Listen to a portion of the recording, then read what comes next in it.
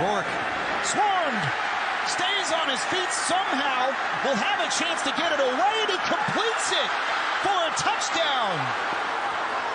Olsson worked free, but Rourke did the magician work.